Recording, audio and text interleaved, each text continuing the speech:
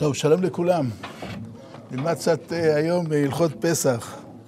יש כאן דברים, אה, אנחנו כאילו רגילים, ופתאום מתברר שיש בזה הרבה דברים יפים. אז בואו נראה יחד. אה, תראו, היום השיעור יהיה קצת אחרת, אנחנו... תודה. שים, שים פה על השולחן. תודה, אני מאוד מודה לך. היום קצת נלמד יחד רן. נלמד אותו יחד, נראה. מקווה שלמדתם את הר"ן, ונראה איך ללמוד אותו, אני יודע, אני מאוד התעסקתי בו והיה לי עניין.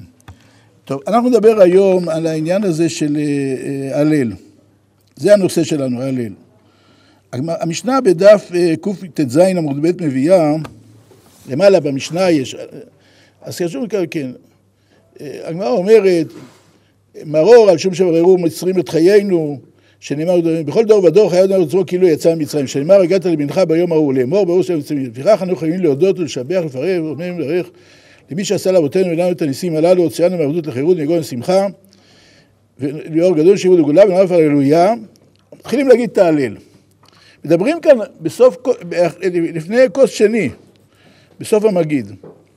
עד היכן הוא אומר, בית שמאי אומרים עד אם הבנים שמחה, בית יום זכה למי שלמה אינו בהם. זאת פרק אחד ושתי פרקים בהלל, וחותם בגאולה. רבי טרפון אומר, אשר גאלנו גאלת אבותינו, ולא היה חותם. רבי עקיבא אומר, כן השם אלוקינו, כן איזה בנים שמחים, לארבעים ולאלם שלום, ונאמר שם, ברוך אתה השם גאל ישראל. תראו, יש כאן דבר מוזר, שלא מצאנו דבר כזה. חותכים את ההלל לשניים.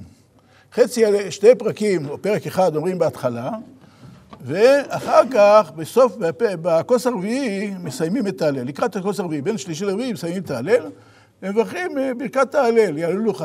זה נראה הלאה בהמשך. ובסוף שתי הכוסות הראשונים מברכים ברכת גל. וברכת גל, לפי מחלוקת רבי טרפון ורבי עקיבא, הלכה היא כרבי עקיבא, שגם פותחת וגם מסיימת. מה זה הסיפור הזה שההלל נחלש לשתיים? למה? ומאיפה זה בא? כן. וזה מופיע פה. אחר כך מופיע העניין השני של ההלל, זה במשנה הבאה.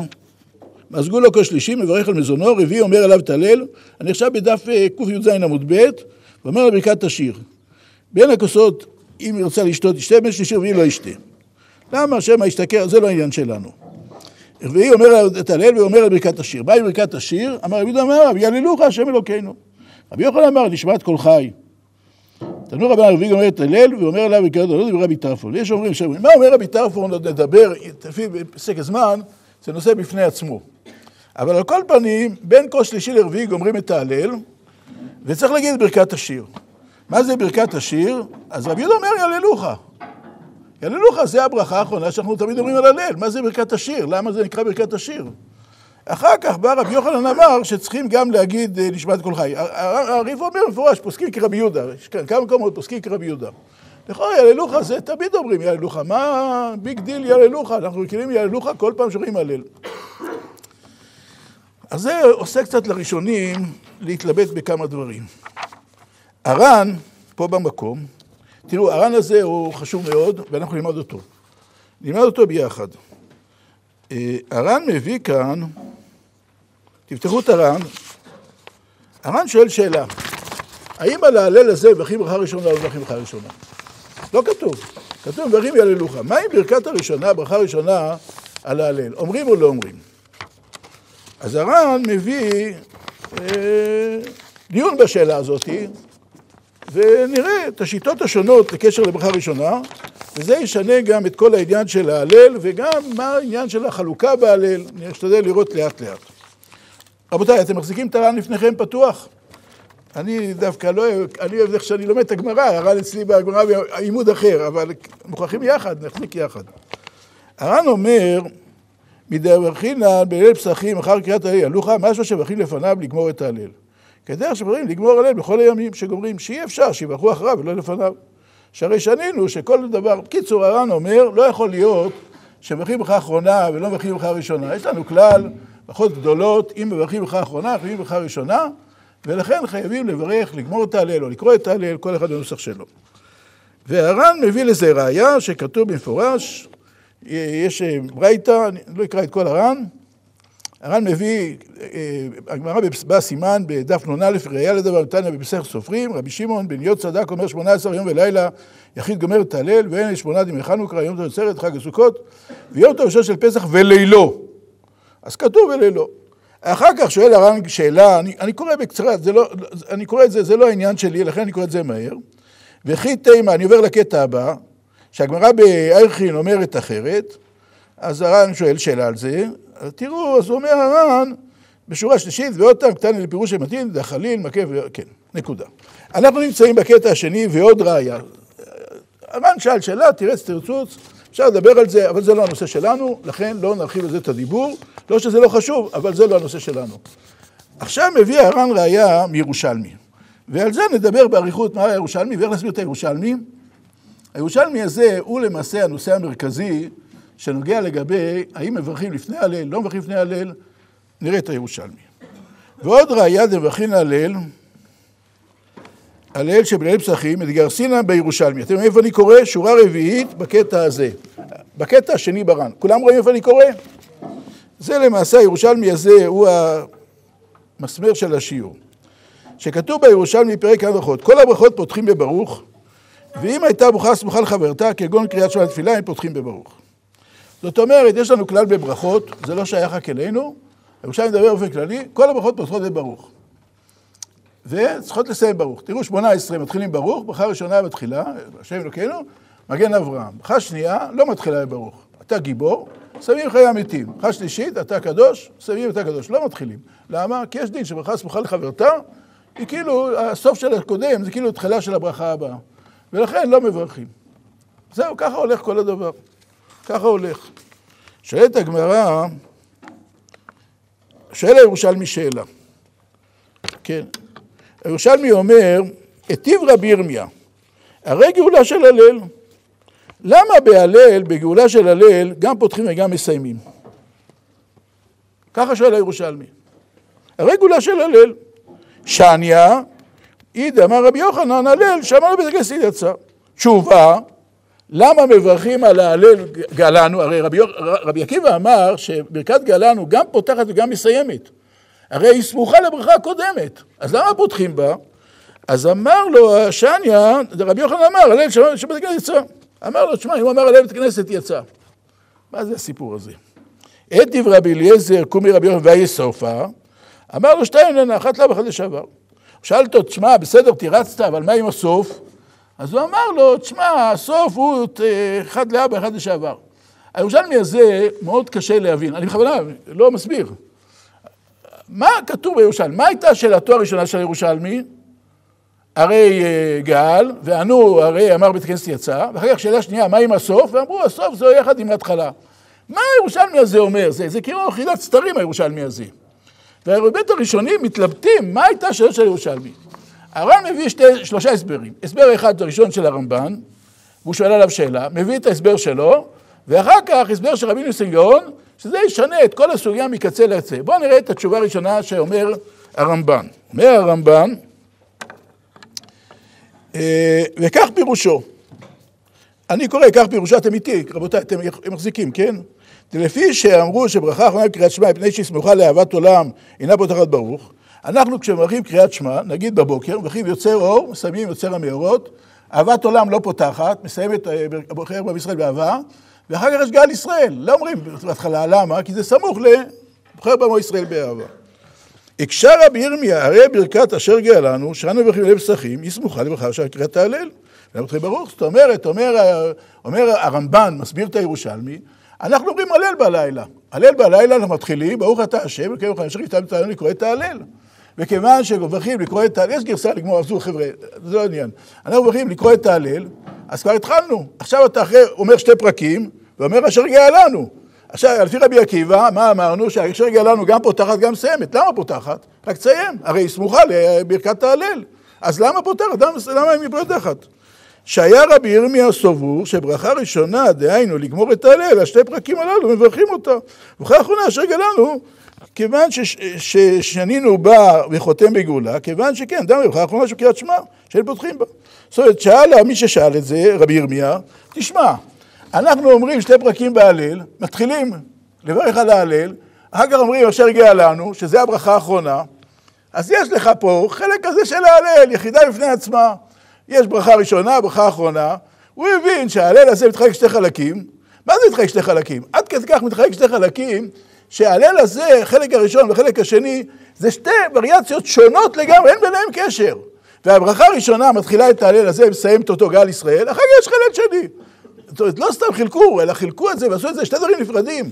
אז הרגע, זה חלק הזה שפתחה, התחלנו עם הברכה, קורא את ההלל, סיימנו אשר גאה לנו, אז מה פתאום גאה לנו פותחת? הרי זה יש ברכה ראשונה, ברכה אחרונה. שימו לב, עד כדי כך. צריך להבין מה הווה אמינא אפילו לבוא ולהגיד שזה לגמרי דברים נפרדים. חילקו את ההלל, מילא חילקו את ההלל, אבל חילקו, ולא סתם חילקו את ההלל, ההלל הזה עכשיו, שתי הללים, יש הלל ראשון, הלל שני ואין קשר ביניהם, איפה זה בא, כל הדבר הזה? אבל ככה הבין הגמרא, אז הוא אמר לו, תשמע, אתה צודק, באמת החלק הזה הוא חלק נפרד.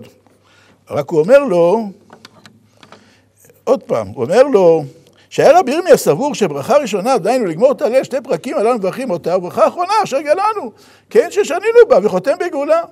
ושכאן שכן, דמי לברכה האחרונה של קריאת שמע, שאין פותחים בה. תראה, תשני, דמי רבי יוחנן, אם שמע בית הכנסת יצא. וכשאוהב ביתו, אינו מברך עליו, שכבר בירך ברבים, כדי איתם מסרת סופרים. אבל כל שני, שלא בירך אותו בית כנסת. הלכה, כמעט והנה הסמוכות, פתחו ברוך, כמו שנהגו ברכה ראשונה. הוא אומר, תשמע, אדוני, ההלל הזה, הוא, יש איתו בעיה. למה? ההלל הזה, לפעמים אמרו אותו בית הכנסת. עכשיו, אם אמרו אותו בית הכנסת, אז כבר בירכנו השאלה להלל. עכשיו, כשאתה בא עכשיו לבית, עוד פעם, ליל הסדר, אומר את ההלל, אז אם בירכת בכנסת, אתה לא מברך עוד פעם על ההלל. אתה לא מברך. אתה קורא אותו בלי ברכה. וכיוון שאתה קורא אותו בלי ברכה, אז אין ברכה ראשונה. אז יוצא שאשר גאלנו הוא לא ברכה אחרונה על שתי הפרקים הראשונים, כי לא התחלנו בכלל בברכה. אלא אשר גאלנו זה לא תקנה של ברכת ההלל, אלא אשר גאלנו זה בשביל כוס שני. כל כוס סידרו לו ברכה. כוס לא הולך בלי ברכה. כוס ראשון קידוש, כוס שני אשר גאלנו. כוס שלישי ברכת המזון, כוס רביעי הללוכה ברכת השיר. כל כוס יש לו ספיישל ברכה. ולכן, כיוון שאם אמרת בבית כנסת ברכת ההלל, מברכים בית כנסת, מי ש... לא כולם, אבל לפעמים מברכים בבית כנסת, אז יוצא שבירכו בית כנסת, אם בירכו בית כנסת לא מברכים בבית, וכיוון שלא מברכים בבית, אז אתה לא יכול להגיד שזו ברכה האחרונה של הקטע, שתי הקטעים האלה, ולכן זה משהו עצמאי, זה לא שייך בכלל לעניין של ההלל, אלא ברכת הכוס. ידענו, זה לא ברכת ההלל, חשבנו זה ברכת ההלל פותחת סיימת, התברר לנו זה לא ברכת ההלל, זה ברכת הכוס, וזהו. אבל אם אתה אומר בבית כנסת, אם אתה לא אמרת בבית כנסת, אז זה באמת ברכת הכוס, כי זה מה שחשבנו, לא, שנ... לא שנינו ממה שחשבנו, אלא רק יש קריאת הכוס. אז הוא שואל אותו שאלה שנייה, זו הייתה השאלה הראשונה. ואז שאל אותו שאלה שנייה, אבל מברך גדול, כן. והקשה רבי אלעזר על פירוש זה, והרי סופה, אני עובר לקטע הבא, אתם רואים? כלומר, ברכה שסופה על דיינו אלוכה, אינה סמוכה דעלמא לאו זכות תליה מיתה. לפי שהיה רבי אליעזר סבור שברכה ראשונה דהיינו לגמור תעלה, מברכים אותה, אינה על שתי פרקים ראשונים, ואין להם בסוף אלא ברכת גאולה וברכת השיר על פרקים אחרונים. ואין להם ברכה לפניהם, ואף על פי כן אין פותחים בה, ולא אמרינן כיוון שפעמים אינה סמוכה, אף על פי שהיא סמוכה בית הכנסת, יפתר בה, כמו שתירצנו בגאולה. כן, הוא אומר לו, תשמע, מה אמרת? אמרת שאם בהתחלה לא מברכים, אז גאלנו זה ברכת הכוס. עכשיו, מה עם ברכה, כוס רביעית? כוס רביעית מברכים, על יעללוך. עכשיו, לכאורה יעללוך זה בדיוק כאשר גאלנו. אם אתה לא מברך בהתחלה, אז אה, יוצא שאתה מברך על הכוס. אז גם יעללוך, זה ברכת על הכוס, זה ברכה של הכוס הרביעית. אז גם היא הייתה צריכה גם לפתוח וגם לסיים. מה תירסת על גאלנו? גאלנו, לפעמים הוא בא עם החלק הראשון, לפעמים לא, וכיוון שלפעמים בלי החלק הראשון, אז יש לו ברכת הכוס, עצמאי. גם יעללוך, אם אין חלק ראשון, יעללוך הופך להיות עצמאי. אם יעללוך הופך להיות עצמאי, אז ברכת יעללוך, מה צריך לעשות? גם לפתוח וגם לסיים, בדיוק כמו גאלנו. מה ההבדל בין הלכה לגאלנו? זה הוא שואל אותו, תראו את זה בפנים עוד פעם. וכשר רבי אליעזר והסופה, כלומר, ברכה של סוף הלל, ההילוכה, שאינה סמוכה ואינה פותחת בברוך. דעלמא לא בזירות תעליה מילתא. סבור שברכה ראשונה אין לגמור תעלה, כשמברכים אותה אינה אלא על שתי פרקים ראשונים, ואין להם בסוף אלא ברכת גאולה. זאת אומרת, הברכה של, אם אפילו מברכים, וברכת השיר על פרקים אחרונים, זאת אומרת, אין להם ברכה לפניהם. ואף על פי כן הם פותחים בברוך, זאת אומרת, לכאורה, אם אתה כבר מברך, אז כמו שחשבנו בהתחלה, ברכת גומר וגל ישראל זה ביחד, זה הופך להיות יחידה אחת. אבל יללוך זה משהו עצמאי לגמרי, אם זה משהו עצמאי לגמרי, גאלנו אמרת, לפעמים זה עצמאי, פותח ברוך, גם יללוך שיפתח ומסיים ברוך, זו השאלה שלו. אז מה הוא עונה לו? תראו מה הוא עונה לו. אה, איפה, מה הוא עונה לו? אז הוא עונה לו, ופריק רבי יוסי, הנה, ופריק רבי יוסי, אני באמצע הקטע, אתם רואים, הקטע התחתון פה, והקשר רבי אלעזר, ופריק רבי יוסי, זה ברכות של ההלל שתיים להם לאבא, כלומר, על מצוותה, על קריאתה, היינו הראשונה של קריאה שמברכים אותה, שמברכים אה, אה, לגמור את ההלל, ואחרונה ברכת השיר, ושתיים אלו באות לעולם כאחד, וסמוכות זו לזו לעולם. וכשהוא גר לברך שם שתיהם כאחד, ובביתו אינו מברך מהם כלל, ואם לא גר בית הכנסת מברך שתיהם בביתו, ואיף שם יעללוך היא סמוכה לברכה של ההלל. לפי שעל קריאת הלל היא באה. וברכת, נקודה. הוא אומר לו, תשמע, תשמעו מה כתוב כאן. הוא אומר לו, תשמע, יש לך טעות. אתה עד עכשיו הבנת שברכת ההלל וגאלנו זה שתי פרקים, זה יחידה בפני עצמה. רק לפעמים לא מברכים את הברכה הראשונה, כי בירכנו בית כנסת. אז אשר גאלנו הופכת עצמאית. והבנת שהיעללוך הוא לגמרי לא שייך לעסק הזה, שתי הפרקים הראשונים בפני עצמם. מה ההבדל בין המסורה בזה? נדבר על זה אחר כך. אבל יעללוך זה יחידה בפני עצמה, אז למה יעללוך לא פותחת? גאלנו שזה לפעמים קשור, אתה אומר מברך, וזה לא מברך. אומר לו, תשמע, יש לך טעות. ברכת ההלל הראשונה, לקרוא את ההלל ויעללוך, זה יחידה אחת. לא כמו שחשבת בהתחלה, וגם עכשיו חשבת, שברכת ההלל וגאלנו זה שתי הפרקים הראשונים, יחידה בפני עצמה. אלא אין דבר כזה. ההלל תמיד הוא יחידה שלמה. מתחילת ההלל, ברכת ההלל, עד יעללוך, זה יחידה שלמה. ואין לנו חצי הללים. הלל הוא הלל. ועכשיו, אם אומרים בית הכנסת, אז גם בית כנסת פותחים לקרוא את ההלל ומסיימים יעללוך. ואם לא אומרים בבית הכנסת, אם אמרו בבית הכנסת, אז כשאתה בא לליל הסדר, אתה לא מברך עוד פעם על ההלל. אתה לא מברך על ההלל. אבל לא שאתה לא מברך על ההלל, אתה לא מברך ברכה ראשונה על ההלל, וגם לא ברכה אחרונה על ההלל. אתה מבין מה קורה כאן? וגאל ישראל, ברכת הגאל ישראל של, של גאלנו, קצת גאלנו, היא בכלל לא שייכת להלל. לא כמו שחשבת שיש ברכה על שתי פרקים ראשונים, ברכה ראשונה, ברכה אחרונה, אין דבר כזה. גאלנו לא שייכת להלל, גאלנו זה ברכת הכוס השני, לא שייכת להלל. מה שייך להלל? כשאתה התחלת את ההלל, בירכת לקרוא את ההלל, סיימת את ההלל, אמרת הללוך. עכשיו זה תלוי. אם אתה בבית כנסת אומר, אז כבר אמרת, ברכת ראשונה, אחרונה, גמרנו. תגיע הביתה, אתה לא מברך על ההלל, לא ראשונה ולא ברכה אחרונה. יוצא שכוס רביעית אין לה יהללוך, אתה מבין? עד כדי כך. לכן, מה שאלת, למה יהללוך לא פותחת בהלל? יהללוך תלוית בברכה ראשונה. יש ברכה ראשונה, יש יהללוך. אין ברכה ראשונה, תמיד זה צריכים אחת לשנייה. אבל זה התחדש רק פה, בתירוץ השני. בתירוץ הראשון הבנו שמה שאמרנו, שלקרוא את ההלל וגאלנו, זה יחידה אחת. רק לפעמים נופל הברכה הראשונה, אז הוא נשאר ברכה שנייה, ולכן הוא גם פותח גם מסיימת. אבל עכשיו מתחדש לא, גאלנו לא שייך לברכת ההלל. מה ששייך לברכת ההלל, זה רק ברכה ראשונה ויהללוך. זה ראשונה, זה אחרונה. ואם אמרת בית כנסת, אז הלך הברכות. עכשיו אתה אומר בלי ברכות. ואם לא אמרת כנסת, אז אתה פותח שניהם. לפי זה יוצא שאם אמרנו בכנסת, לפי השיטה הזאת, בליל הסדר לא מברכים יהללוך. אין ברכת יהללוך, לפי הרמב"ן. אבל צריך, על כל כוס יש ברכה, אז אין. אז כנראה שיש את ההלל וכל הדברים האלה, בלי ברכה, וזה מספיק. גאלנו קידוש כוס ראשון, גאלנו כוס שני, ברכת הבדוק כוס שלישי, יהללוך לא קיים, למה? כי אמרת בבית כנסת אין יהללוך. אם לא אמרת כנסת, יש יהללוך. בואו נקרא את זה עוד פעם, רבותיי, זה מדהים. אומר הרמב"ן, ופריק רבי יוסף, ברכת הלל שתיים לאבא, כלומר מצוותה של קריאה, דהיינו ראשונה של קריאה שמברכים לגמור את הלל, ואחרונה דהיינו ברכת השיר, שזה יהללוך. ושתיים באות לעולם כאחת, יחד, סמוכות זה לעולם. שאם קורא בית הכנסת, מברך שם שתיהם כאחת. ואז בביתו אינו מברך מהם כלל. ואם לאו, קרוב בבית כנסת, מברך שתיהם בביתו. ואף שם יעלוך, היא סמוכה לברכת שפני הלל. שהיה לה קריאת הלל ליבה, וברכת אשר גלנו, אז עכשיו הוא שואל שאלה. אז מה יוצא, רבותיי? זה דבר מדהים. יוצא מכאן שאם נגיד, לא קראנו בית כנסת, אז עכשיו אנחנו מתחילים את ההלל בבית, אומרים, לקרוא את ההלל. גומרים את ההלל, יהללוך, נכון? מה יש לנו באמצע? גמרנו את השתי שתי פרקים ראשונים, מברכים אשר גאה לנו. מה עושים אחר כך? מה עושים אחרי שגומרים כוס שני? מתחילים לאכול, מה? גומרים את האוכל, אוכלים וזה, ואוכלים מצות, אוכלים אפיקומן, גומרים את כל הסיפורים האלה, ואחר כך, מברכים כוס שלישית, ברכת המזון, ואחר כך אוכלים את אה, אפיקומן, גמר ברכת המזון, ואומרים את ההלל בלי ברכת יהללוך, אה, עם ברכת יהללוך, הרי לא אמרנו בכנסת, עם ברכת יהללוך, והם מברכים ברכה אחרונה. כאשר ברכה ראשונה הייתה לקרוא את ההלל, ברכה אחרונה יהללוך, ובאמצע חגיגה שלמה, גאלנו ואוכל וכל הדברים. איזה דבר זה? מה זה הדבר הזה?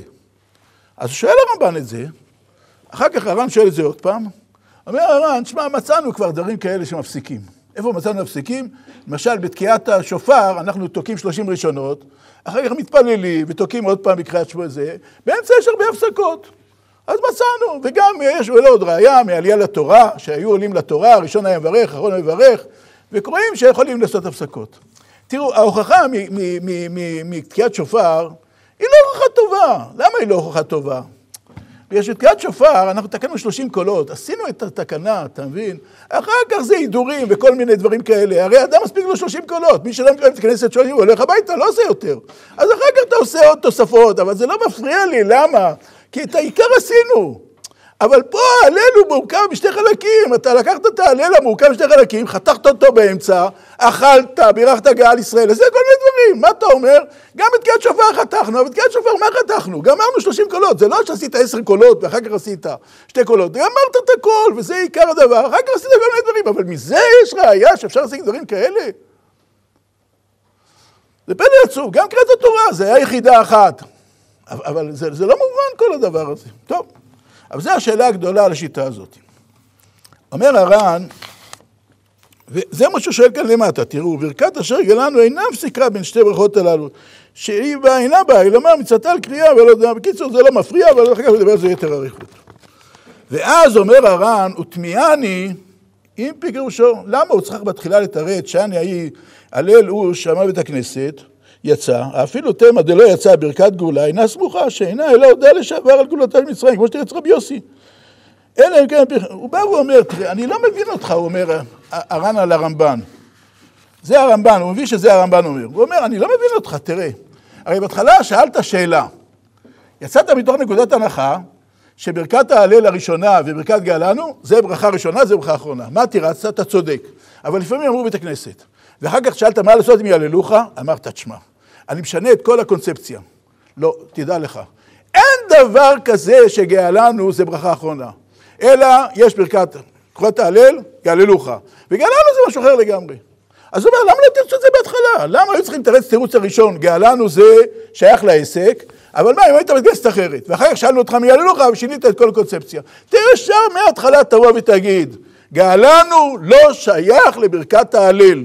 לא משנה, כן בכנסת, לא בכנסת, יאללה, לגמרי זה משהו אחר לגמרי. ובזה נפתור את כל הבעיות. מה עשית לנו? כל הסבב, אומר, מה תגיד? אומר לו, תשמע, על השאלה הראשונה יכלתי לתרץ לך מספיק תירוץ בזה, רק שאלת שאלה שנייה, אני מוכרח לשאול את הקווינסיה. תראה שאלה מההתחלה, למה, למה אתה משנה, למה עושה לנו דברים כאלה? זה שאלת הר"ן על הרמב"ן.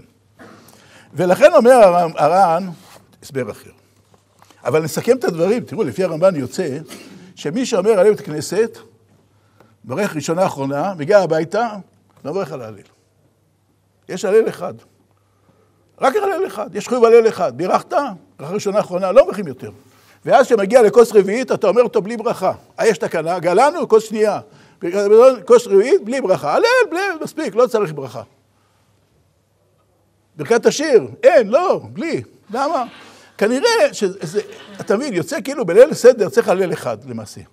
אלא מה? או בית כנסת או בבית. רק מה, לא רצו שבהגדה לא יהיה הלל, אז אמרו הלל, אבל למעשה זה לא הלל כי אין ברכה. כי כל העניין של להלל זה, פעם אחת צריך להגיד הלל. הפעם השנייה סידרו שכיוון שכבר אומרת שבזמן אכילת הפסח אמרו, בזמן קראו אחד פסח, אבל על כל פנים ההלל הוא אחד, הוא לא שתי הללים, יש חובת הלל אחד. והר"ן לא מוכן לקבל את תירוצו של הרמב"ן, למה? כי לפי זה יוצא שלפי התירוץ השני לא צריך את התירוץ הראשון. אז הוא אומר, תצלץ ישר את התירוץ השני, למה אתה צריך לשחק איתנו תירוץ ראשון ותירוץ שני? ולכן הוא דוחה אותו. אומר הר"ן ככה, ויותר נראה לי דאחי כאמר, אתם רואים איפה אני קורא? עכשיו בפסקה הזאת. ויותר נראה לי דאחי כאמר, שאני אעיד דאמר רבי יוחנן הלל, אם שוב בית כנסת יצא, ואינו הולך לגמור, אפילו אך מברך אשר גאה לנו, עלמא ברכת אשר גאה לנו אינה סמוכה לברכה ראשונה, אלא ברכה שתקנו על כוס שני. זאת אומרת, בתירוץ הראשון כבר נאמר מה שלפי הרמב"ן נאמר בתירוץ השני. גאלנו זה לא ברכת ההלל. ברכה הראשונה, עובדה היא שאם אתה אומר בבית כנסת, בכל אופן אתה אומר גאלנו. למה אתה אומר גאלנו? הרי אין ברכה ראשונה. אם אתה אומר שגאלנו זה ברכה שמסיימת, אז בגאלנו, אם היא מסיימת, כן? אז למה אתה אומר אותה? הרי לא ברכת הברכה הראשונה, מוכרחים לבוא ולהגיד שאין קשר בין ברכת ההלל לברכת גאלנו. גאלנו יצא מכל הקונספציה של ההלל, כבר בתירוץ הראשון. וגאלנו זה ברכה על הכוס השני. אז יש לנו ברכה על הכוס הראשון, ברכה על הכוס השני, ברכה שלישי, וגאלנו זה שייך להלל. וגאלנו זה מה שהוא אומר. ויותר נראה, שאני היידי אמר רבי יוחנן, הלל אם שירות הכנסת יצא, אינו מברך לגמור, ואפילו אחרי מברך הקשר גאלנו, הרי לכאורה לא מברך על ההלל, אמר, עלמא, ברכת אשר איננו אינה סמוכה לברכה ראשונה, אלא ברכה שתקנו על כוס שני. ואז הוא אומר, ואז סופה, כלומר, והרי ברכת יללוכה, אף על פי שנתקנה לכוס רביעי, אינה פותחת בברוך. אף ברכת בגלנו, אף על פי שנתקנה לכוס שני, לא היה ראוי לפתוח בברוך. שמפני זה לא יתבדל סמיכותה, כשם שלא יתבדל ברכה זו, שבסוף שהיא יללוכה. זאת אומרת, הוא אומר, תשמע, יללוכה אתה אומר בלי להתחלה. יללוכה זה כוס רביעי. עכשיו, לפעמים אתה לא אומר אפילו את הברכה הראשונה, ואתה אומר את היללוכה.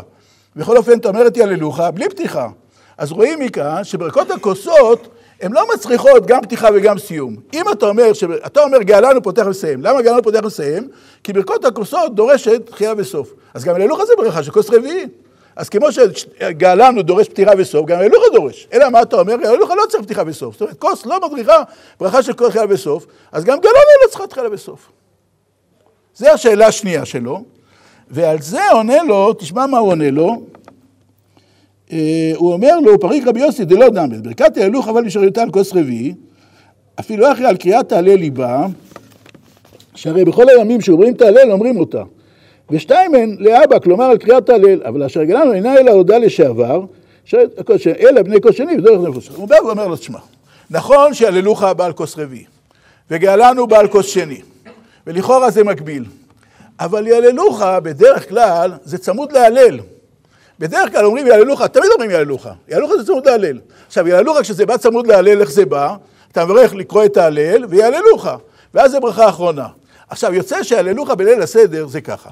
אם אתה לא קראת בית כנסת, אתה מברך לקרוא את ההלל, ויהללוך, שזה סוף ההלל, ויהללוך עושה שתי חלקים, עושה גם כתחייה אחרונה של הלל, וגם ברכה על כוס רביעי. ואם בירכת בית כנסת, אם בירכת בבית כנסת, אז יוצא שאתה לא מתחיל את ההלל, אתה אומר רק יהללוך. אז מה אתה אומר? רגע, עכשיו יהללוך הוא רק על כוס רביעי, כי לא צריך, לא התחלת. אבל זה לא הולך ככה, למה? אותו יהללוך שעכשיו הוא רק כוס רביעי, לפעמים הוא משמש גם ברכה אחרונה של ההלל. וכיוון שלפעמים משמש ברכה אחרונה של ההלל, ואז הוא לא פותח בברוך, אני לא יכול לעשות יהללוך כזה, יהללוך כזה. אלא כיוון שיהללוך הרבה פעמים משמש כברכה אחרונה של ההלל, אז הוא משמש, אז הוא לא פותח בברוך, אז גם כשהוא עכשיו רק ברכת הכוס, כי אמרת בית הכנסת, יעללוך יהיה, יהיה רק סוף ולא התחלה. אז יוצא ככה, אם אתה את הכנסת, אז אתה בבית הכנסת מברך גם ברכה ראשונה, גם ברכה אחרונה, בא הביתה, לא מברך ברכה ראשונה, כי כבר בירכת בכנסת, אבל יעלוך אתה מברך. למה יעלוך אתה מברך? כי זה ברכת הכוס הרביעי. אבל אם לא בירכת בית הכנסת, אז אתה מברך ברכה ראשונה, וגם ברכה אחרונה, ויעלוך ברכה אחרונה. אה, אם בירכת בית כנסת, יעללוך הבא בלי ברכה ראשונה, למה לא פותח ברור, כמו גאלנו? כיוון שאם לא בירכת בית הכנסת, אז יעללוך ברכה אחרונה, אז גם כשאתה כבר בית כנסת, אמרת, יעללוך אי אפשר לעשות אותו בשתי וריאציות, ככה וככה, ולכן נשאר.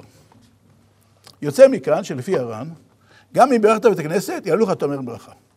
בניגוד לרמב"ן, שלפי הרמב"ן, אם בירכת בית כנסת, יעללוך לא ברכה. כי לפי הרמב"ן, זה תשובת הגמרא. שאלת הגמרא הייתה, למה יעללוך לא פותחת ברוך, כמו גאה על זה? אומר דבר, שינוי קונספציה.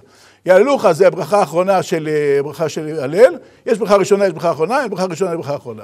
לפי הר"ן, הר"ן, כבר זה שאנחנו יודעים שהגאלנו הוא לא ברכה אחרונה, זה כבר ידענו בתירוץ הראשון. אלא שאלנו, רגע, למה גאלנו פותחת ומסיימת? כי ברכת הכוס, גם יעלוך ברכת הכוס, גם היא תפתח ותסיים. אומרים לא, רבותיי, ברכת יעלוך היא לפעמים ברכת הכוס, אבל לפעמים גם ברכה אחרונה של ההלל. וכיוון שהיא לפעמים ברכה של האחרונה של ההלל, אז כשהיא ברכה אחרונה של ההלל, היא לא יכולה לפתוח בברוך. למה? כי יש לה ברכה סמוכה לחברתה. איזה ברכה? הראשונה של ההלל. אז כיוון שאז היא ברכה אחרונה, אז לא פותחת, אז גם אם בירכת בית הכנסת, שעכשיו היא לא ברכה אחרונה של ההלל, כי אתה לא פתחת בהלל, בכל אופן היא לא פותחת. כי אי אפשר לעשות פעמיים יעללוך, פעם יעלוך כזה, יעלוך כזה, יעלוך זה וריאציה אחת, ולכן מסיימת ולא ברכה. ואז אומר הר"ן, מכל מקום, כיוון שהקשו הרי גאולה של הלל, שמין על מיני שבחים בתחילתם לגמור. שאם לא כן, לא היה לו שאלה, כן? זאת אומרת, אומר הר"ן, בפי זה יוצא, מכל מהלך הגמרא, שהיה ברור להם שמברכים על ההלל. אבל זה תלוי. אם בירכת בבית כנסת, אתה לא מברך על ההלל. אבל אם לא בירכת בכנסת, מברך על ההלל, ויעללוך זה תלוי. או שזה ברכה אחרונה, או שזה ברכת הכוס, אבל בכל מקרה מברכים. ואז הוא שואל שאלה קשה מאוד, הר"ן, אנחנו לא נתעסק עם השאלה. רגע, אבל גאלנו פה מהווה הפסקה, ומה לעשות עם זה? ואז הוא דן על זה באריכות גדולה, מה לעשות אם גאלנו הפסקה? הוא אומר, מצאנו בתקיעת שופר, אני לא אקרא את זה, תראו את זה, מכל מקום שמענו, אני קורא את הקטע ההתחלה, שהקשו הרי ברכת הלל שמינה מברכים ובתחילה מברך, ולא כן מקום מרשייה כלל, וכיתם הפסקים בה וקובעים סעודה בתוכה, אז איך אתה יכול לקבוע סעודה בתוכה לברך גאלנו? ואז הוא אומר, מצאנו בתקיעת שופר, שקוראים אותו ראשונות, אחר כך מתפללים מוסף וכל הדברים האלה, זה הפסקה, אז גם זה לא הפסקה. אם אתם שואלים אותי אם זה תירוץ טוב, לפי דעתי זה תירוץ לא כל כך טוב. למה? כי בתקיעת שופר גמרת את כל העניין, עשית דבר שלם, 30 תקיעות, כל ההידורים, כל הדברים, אז אחר כך עשו תקנה לערבב את השטן, כל מיני דברים כאלה. אז זה לא נורא אם עושים הפסקה. אבל פה זה עץ ההלל, תקעת אותו עם ארוחה, עם גאלן, זה לא אותו דבר בכלל. ולכן יש כאן קושי גדול מהדברים האלה. לכן, לכן, לכן, יש אלטרנטיבה שלישית איך להסביר את הגמרא. שימו לב, יש עכשיו שתי אלטרנטיבות. האלטרנטיבה הראשונה הייתה הרמב"ן, שיש באמת שתי סוגי הלל. אחד, אמרת בכנסת, אתה אומר עכשיו לילה לגמרי ברכות. זאת אומרת, יוצא מכאן שכל ההלל השני הוא למעשה, כאילו, שיהיה בליל הסדר הלל, אבל למעשה ההלל של החובה הוא הראשון, ולכן מברכים על הראשון, השני בכלל לא ברכה. זה שיטת הרמב"ן. שיטת הר"ן, אותו דבר, יש הלל אחד. ובאמת תעלה לזה, אתה אומר בכנסת, זה הצעת ידי חובה, מה שאתה אומר עכשיו זה עוד פעם לכבוד על הסדר, אבל יש לו תוספת, שיש ברכה אחרונה.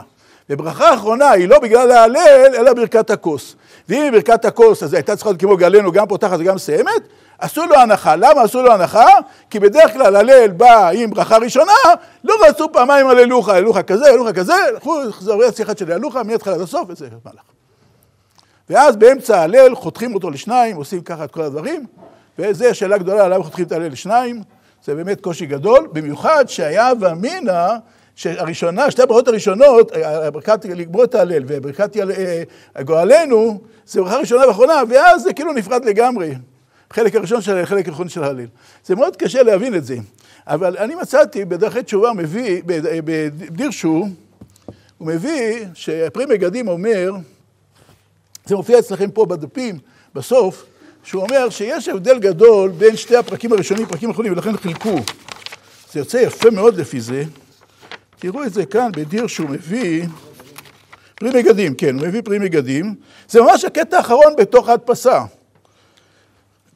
מהדורת דיר שהוא הערה מספר שלוש, וטעם הדבר שפרקית הלב, כזה פרי מגדים שחילקו את ההלל, שקודם הסעודה עוסק בעניין יציאת מצרים, כמו עניינה של ההגדה, וחלקו האחר עוסק בשאר הגאולות, בעניין הגאולה העתידה. זאת אומרת, באמת זה כאילו שתי, שתי הללים. יש הלל הראשון שעוסק ביציאת מצרים, ולכן זה שתי הפרקים הראשונים, יציאת מצרים ועבדי השם, ואחר כך זה משהו אחר. ולכן חילקו, החלק הראשון של ההגדה עוסק במגיד, מגיד עושה סיפור יציאת מצרים, אז לקחו את השתי הגלים האלה ועשו להם ברכה ראשונה ואחרונה לפי אבמינה של הגמרא. ממש חילקו את זה לשתי חלקים, עד כדי כך שברכה ראשונה אחרונה, אחר כך אומרים שער ההלל. כאילו זה דבר בפני עצמו, עד כדי כך. דרך אגב, במטיבתא מביא בשם המהר"ל, שחילקו בגלל סיבה אחרת. חיפשתי, במטיבתא מביא בשם המהר"ל, כי רצו שבזמן אכילת קורבן פסח יגידו הלל. אבל מה יעשו לפני, אחרי? אז חיברו את ה... החליטו את קורבן פסח באמצע הלל, שתיים קודם ואחר כך, כדי שיהיה קורבן פסח באמצע הלל, ככה, זה מילא, הוא, איך שלא תיקח אותו, הוא לא לפני הלל ולא אחרי הלל, הוא באמצע הלל, כי פסח היה צריך להיות בהלל. אבל אם אנחנו נלך לפי הברית מגדים, זה נהדר. למה אבא מילה של הגמרא? לחלק את זה לשתי חלקים. יש ההלל ששייך למגיד, שהמגד עניינו זה ליל הסדר, יציאת מצרים, אז זה שתי הפרקים שעוסקים ביציאת מצרים, והפרקים האחרים עוסקים בדבר אחר, עד כדי כך שהיה אברהם אבינו, אפילו ברכה ראשונה, ברכה אחרונה, לחלק את זה לשניים. עוד נדבר על זה גם בהמשך, כשנדבר רבי ניסים גאון. עכשיו, רבי ניסים גאון לא היה מוכן לקבל את כל הדברים האלה. לפי ההסבר שלנו, ברור למה הוא לא רצה לקבל את זה. למה הוא לא רצה לקבל את זה? כי הר"ן בעצמו שאל, איך לוקחים את ההלל, מחלקים אותו לשניים, אוכלים באמצע, מברכים באמצע, מה זה הדבר הזה? יש הלל.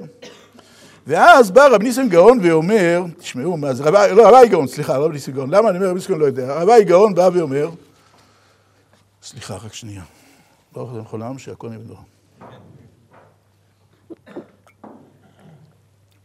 ואז רבי גאון בא ואומר, הסבר חדש. ואז אומר רבי גאון, כתב בתשובה, שאין מברכים, אתה יודע איפה אני קורא? בקטע הזה. אבל רבי גאון כתב בתשובה, שאין מברכים על הלל שבליל הפסחים, גמור את ההלל, שאין אנו קוראים אותו בתורת קוראים, אלא בתורת אומר שירה. שכך שרבי גמליאל אומר, כל שלא אמר שלושה דברים אלו, בסיפא, לפיכך אנו חייבים להודות להלל, לפיכך אם בא אדם לברך משתקים אותו. אלו דברי הגאון, וכן הסכימו הגאונים רב צמח ורב יוסף ורב יצחק בן גאות. וזה שהקשו מדתן כל הטעון ברכה לאחריו, טעון ברכה לפניו, אפשר לתרץ לפי דבריהם, שברכת אלוהיך בלב שרים אינה באה על קריאת הלל לאחריו, כמו שנאמר שטעונה לפניו, אלא כוס רביעי הוא בא. והיינו טעמה דקרא לברכת השיר, והיינו דאחא שיילין על ברכת השיר. ואילו הטעם בסוכה, שמדברים בעיקר הלל, לא כתוב, במקום שנהגו לברך אחריו, יברך, לא שאלן מה אם מברך, אלא ודאי ברכה האחרונה של הלל הייתה ידועה אצלם, ולא שאלו עליה מעולם, אבל אחא ברכת הכוסי, לפיכך שינו שמה וקראו אותה ברכת השיר, כלומר שאינה ברכה על קריאת ההלל, אלא ברכת השבח. לפיכך חותמת ואינה פותחת בעניין שמצינו ברכות השבח שבאות בחתימה בלא פתיחה, כגון על הגשמים מודים אנחנו לך, וחותמת ואינה פותחת. כך תרצו בזה נקודה. בא רבי גאון ואומר, תשמע, יש הבדל עצום בין כל ההללים לבין ההלל של ליל הסדר. כל ההללים זה ברכת היום, שיש חובת לומר הלל. על כל צרה וצרה, איך למדנו, היה שיעור כללי על העניין הזה. כל צרה וצרה שנגאלים, אומרים את ההלל, יש תקנה של הלל, דיברנו על זה, אחד השיעורים האחרונים, לפני זמן לא רב. זה משהו אחר. עכשיו, יש הלל של שבח, שיר. לא מדין חובת הלל על דין כזה שנגאלנו, כל הדברים האלה. צריך לשבח את הקדוש ברוך הוא, וזה ברכת השיר. ולכן לא פותחה בברוך, אסור לפתוח בברוך. שרים. אם זה שיר, אין, לא קשה, לא מפסיקים. מותר להפסיק באמצע שיר. יש שיר, אוכלים, שרים, ככה, לפני, אחרי. והסוף זה לא ברכת ההלל, זה ברכת השיר. מברכים ברכת השיר, כי שרנו, צריכים לברך ברכת השיר. אם זה ברכת השיר, לא קשה. עכשיו, קשה, מה עם הפתיחה? אז הוא אומר, זו שאלה לכאורה, צריך לפתוח. אז הוא אומר, שמע, השיר לא צריך לפתוח, אפשר לשיר גם בלי לפתוח. כמו שמצאנו, מודים אנחנו לך על גשמים, כל טיפה וטיפה, וכל הדברים האלה, בסוף מברכים. אז זה משהו אחר, זה ברכה אחרת, זה הכל הולך אחרת.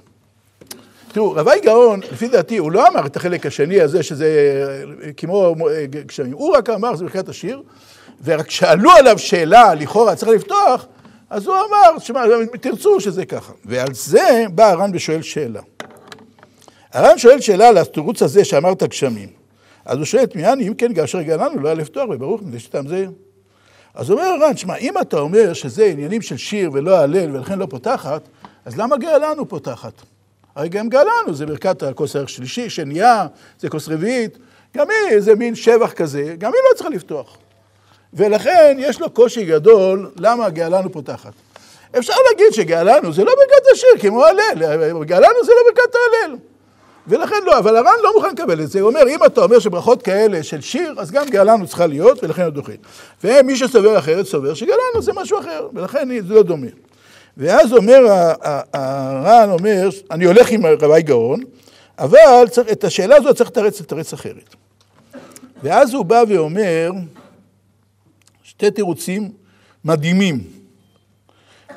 תמיהה אני בזה, דין כאשר גאלנו לא היה לפתור, בברוך מפני טעם זה, וקרוב אני לומר, דברכת יעלוך בליל פסחים היא כסמוכה לברכת אשר גלנו, ששניהם באות על מה שהתרחש בליל פסחים, מדלת כוסות, שברכה ראשונה על קידוש, שהיום תוהי בה, וכן ברכת המזון, אבל ברכת גאולה ויעלוך באות על מה שהתרחש בליל זה, לפיכך דנו אותה ברכה של יעלוך כסמוכה, נקודה.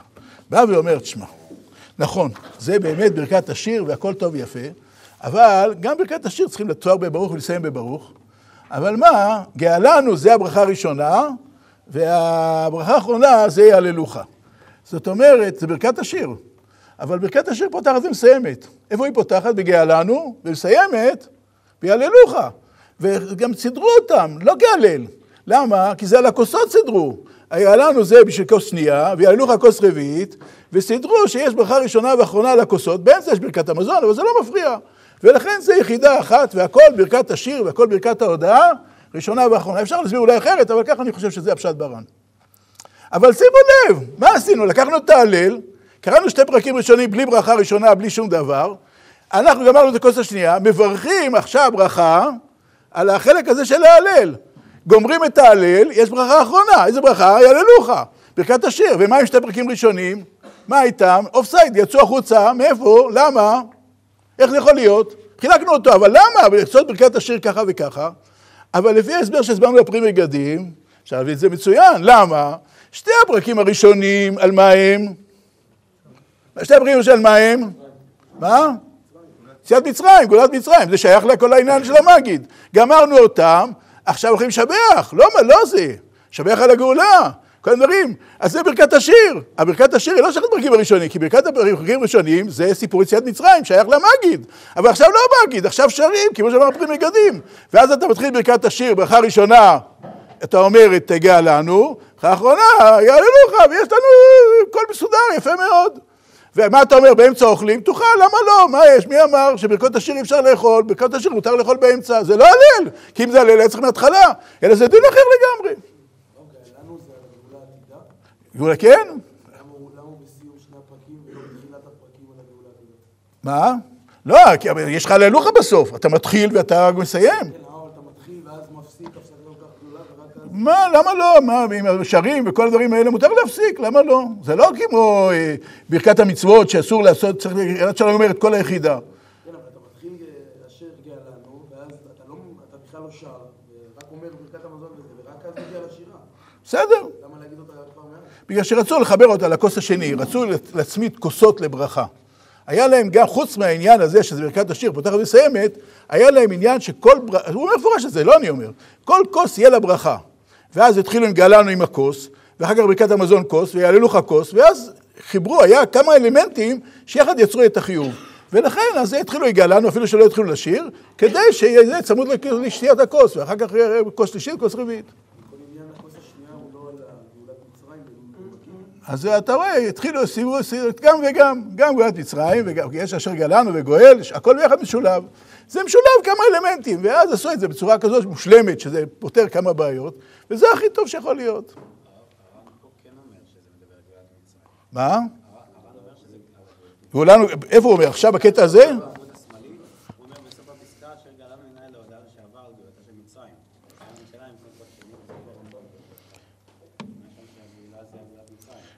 עוד פעם, נראה את זה בפנים. תמיהה, אפשר לראות עוד פעם. קרוב אני לומר שברכת הילוכה בדיני פסח היא סמוכה לברכת אשר גלם, ששתיהן באות על מה שנתחדש בפסח מארבע יוצאות. אחת ראשונה של קידוש, אבל בגאולה והילוכה באות על מה שנתחדש בליל זה. לפיכך דנו אותה ברכה שהילוכה כסמוכה. עד לכאן הוא לא אומר, איפה אתה... בפסקה שמתחילה ויותר נראה לי, קצת יותר למעלה, בסוף הפסקה. אה, בסדר, בסדר, לא, לא, אבל זה... זה פירוש אחר. רק רגע, זה פירוש אחר. זה כבר, הנה עמי, זה פירוש אחר. אז בואו ניתן, כל פירוש הולך עם זה שלו. רק היה קשה, אתה מבין? פתאום עשית את החלק הזה, ברכה ראשונה, ברכה אחרונה, לקחת חצי הלל לפה, חצי הלל לשם, איך זה? אבל לפי פרי מגדים זה יפה מאוד.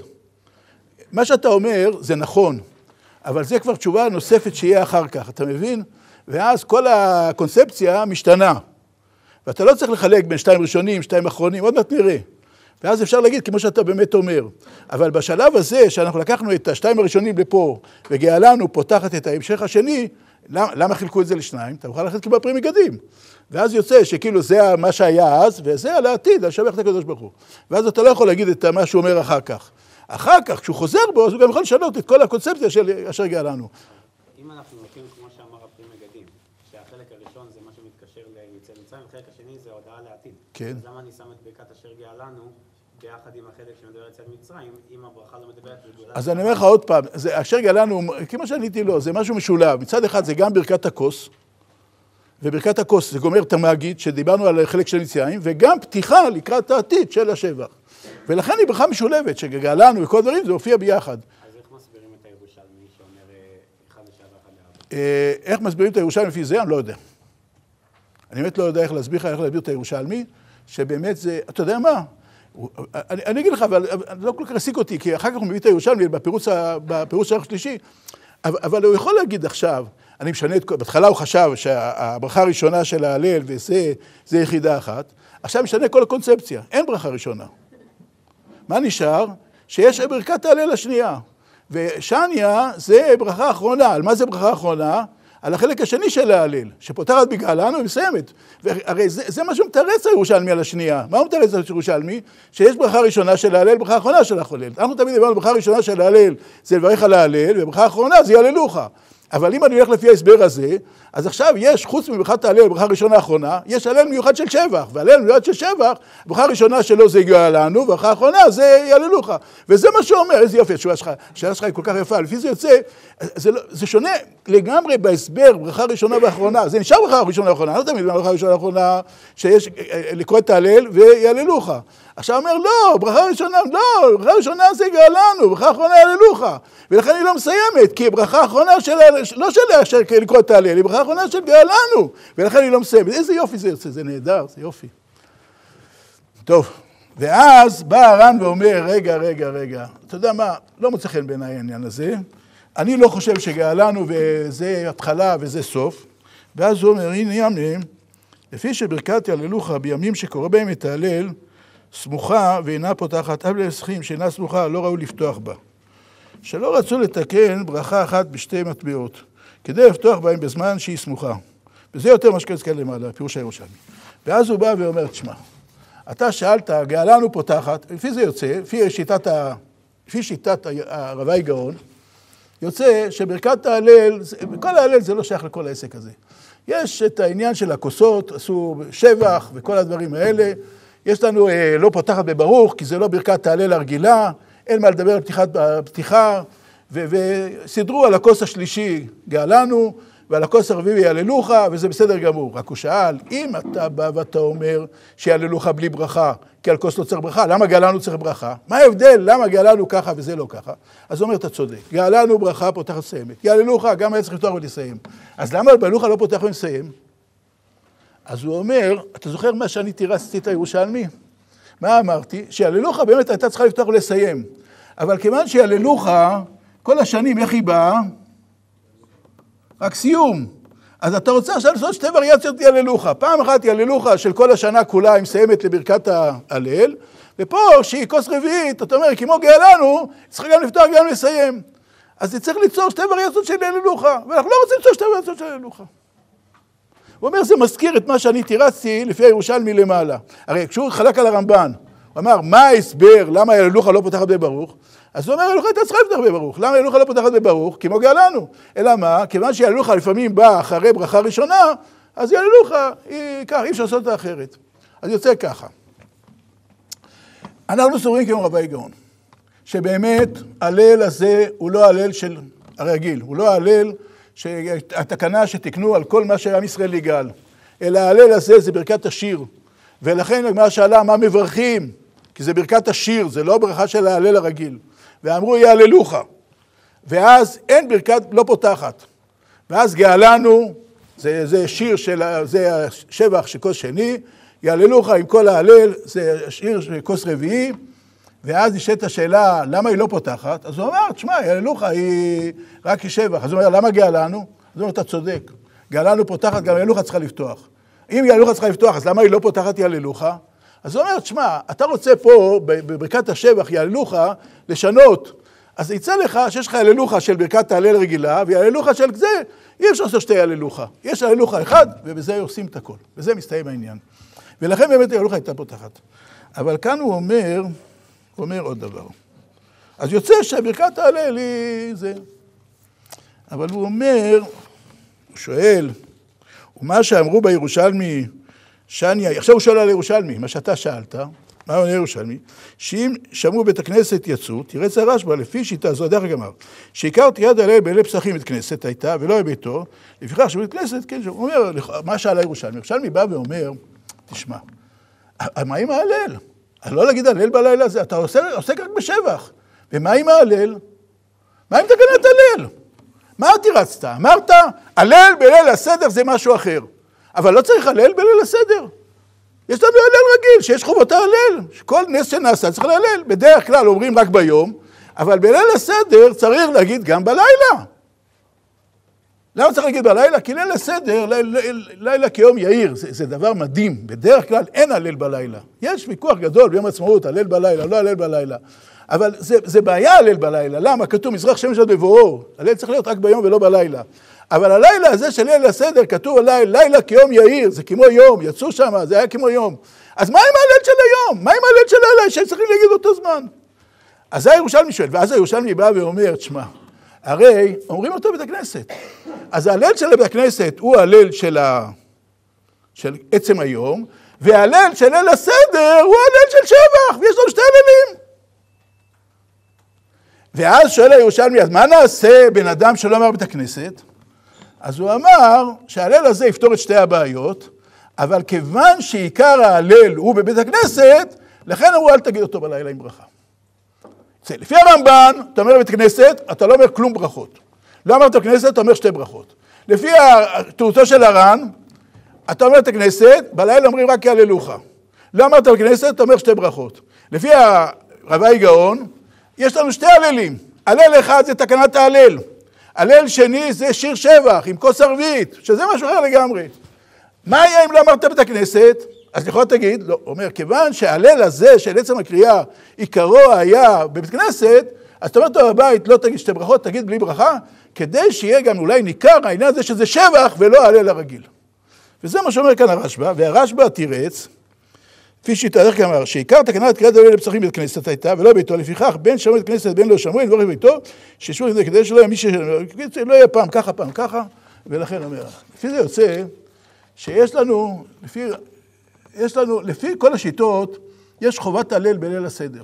גם רבי גאון שאמר שזה שבח, לא חולק שיש חובת הלל בליל הסדר. יש חובת הלל, כאילו על כל דבר שעם ישראל ניגל צריך חובת הלל. לפי כל הראשונים, יש פעם אחת חובה, או בבית או בית כנסת. אתה מברך בבית, לפי הרמב"ן אתה לא מברך בית כנסת, אתה מברך בבית כנסת, אתה לא מברך בבית, מברך בבית, לא מברך כנסת. לפי הר"ן, גם כן, זה הלל אחד. רק מה, אפילו אם ברכת בכנסת, ברכה אחרונה, למה? כי זה ברכת הכוס, סידרו ברכה מיוחדת, לכבוד הכוס, מברכים אותה, שזה לפי שיטת הר"ן. ואילו לפי שיטת רבי גאון, יש שתי הללים, יש הלל של כנסת והלל של בית. הלל של כנסת הוא בא עם ברכה, הלל של בית בלי ברכה. אבל אם לא אמרת בכנסת, אתה יוצא בבית. אבל בכל מקרה לא תברך. למה? כי עיקר הברכה. עכשיו, מה הבעיה? בסימן תפ"ז אומר השולחן ערוך שאומרים עליה בית הכנסת. סימן תפ"ז, אני המשכתי לציין את זה, מצאתי את זה גם אחר כך, אחרי ששלחתי לך את המקורות. אבל בסימן תפ"ז כתוב ככה. זה לא מצולם, אין לכם פה את זה, זה לא מצולם פה. כתוב ככה, סדר היום בערבית שחרית מנחה אומר שלוש ברכות, אה, אחר כך כתוב, איפה זה כתוב? אה, בליל ראשון של פסח, בתפ"ז סעיף ד', כתוב ככה, בליל ראשון של פסח גומרים את ההלל בציבור בנעימה, בברכה ותחילה וסוף. צריך בכל בית כנסת להגיד הלל בנעימה, מעניין, יש כאן דין מיוחד של נעימה. צריך לשיר, לפעמים לא רוצים, צריך קר לי בך לעשות את ההלל הזה של בית כנסת. בנעימה, ליל הסדר צריך בנעימה. וכן ביום שני. והרמה אומר, ואין אנו נוהגים כן, כי אין אומרים בליל בית כנסת הלל כלל. הרמה אומר לא להגיד הלל, רק בבית. עכשיו, אם אומרים רק בבית, אז לכאורה צריך לפתוח ולסיים.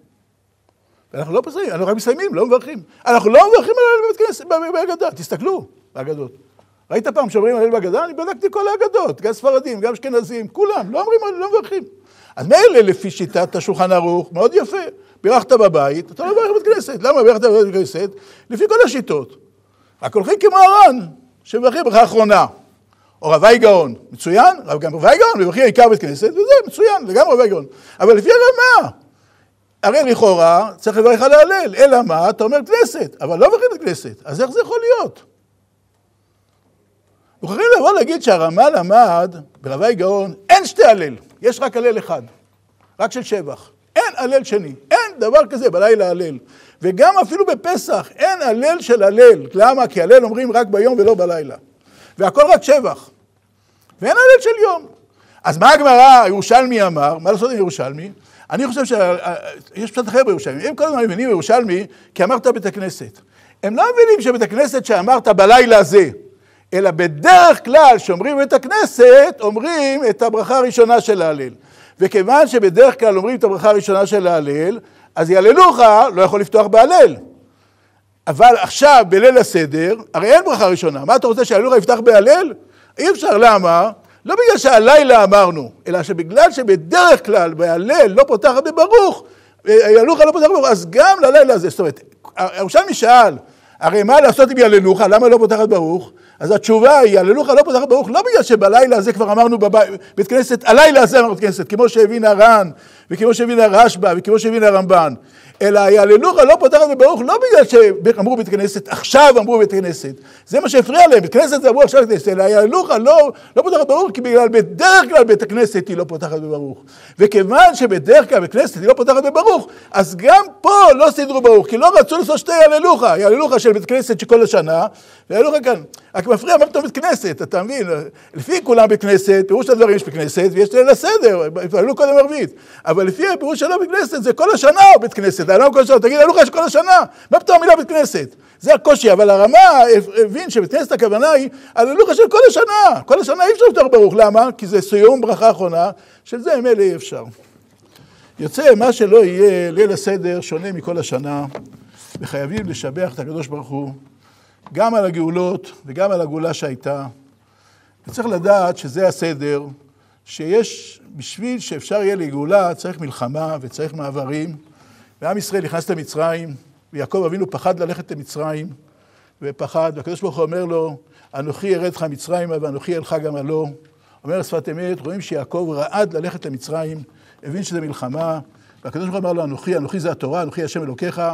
התורה תתגלה דרך המלחמות ודרך הגאולה, וכנראה שזה הסדר.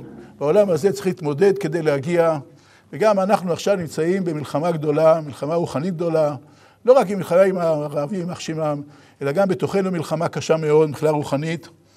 ועברנו תקופה קשה מאוד, ועברנו תקופה שלפני המלחמה הזאת קשה מאוד, והמלחמה הזאת זה המשך של התקופה, ומי שלא מבין את זה, הוא לא מבין שום דבר. זה ברור שהמלחמה הזאת זה המשך המלחמה הרוחנית שהייתה אותה תקופה, וממשיך מלחמה רוחנית על עם ישראל, ועד איפה זכויות היחיד כנגד זכויות הציבור, שזה המלחמה של היום, יום-יום, האם היחיד גובר על הציבור, ובשביל לדאוג ליחיד, עם כל הכאב הגדול, צריך לוותר על כל מה שנעשה לציבור, או שהציבור קודם, שזה אותה מלחמה שהייתה אז גם מבחינה רוחנית, גבולות היחיד כנגד גבולות הציבור, וזה הבירורים שנעשה.